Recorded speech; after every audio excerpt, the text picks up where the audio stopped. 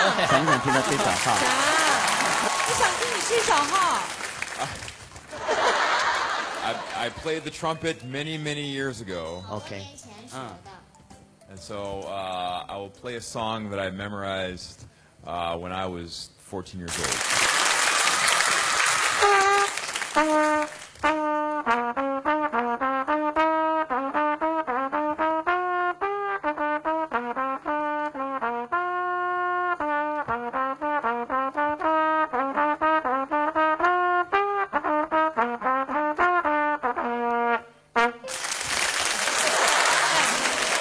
想，我想问一下，最后一个最后那个 是什么意思？mean nothing。大家听他吹完。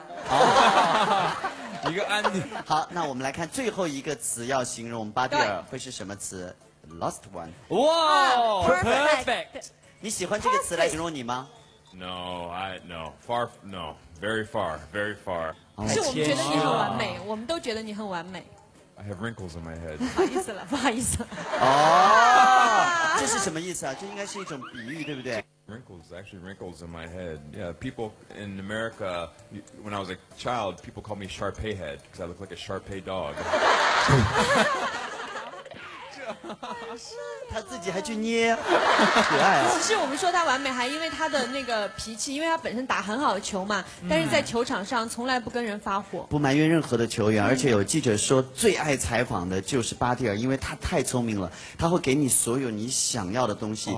每一次做完巴蒂尔的采访，在几个小时之后，他说的话就绝对可以上头条，因为他能够非常准确的给你你要的信息。哦，所以我觉得。问的问题都能够准确的回答，而且绝对不拖泥带水，绝对会给你一个非常漂亮的答案。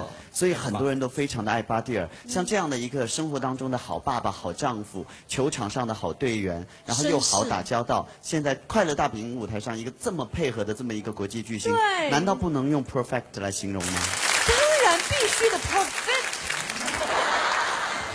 那吴昕，你告诉大家，娜娜今天看到第一眼看到这个词，哎呀，哎呀，哎呀，彩排的时候就把那个翻起来说：“哎，吴昕，批飞是什么意思？那人就是不断学习才是我进步嘛。恨你。哎，那娜娜娜娜就是听完那个呃巴蒂尔唱完 New York New York，然后他就拿到那个台本，然后就说 New York，佳佳这个名字怎么那么熟呢？我说就是纽约啊。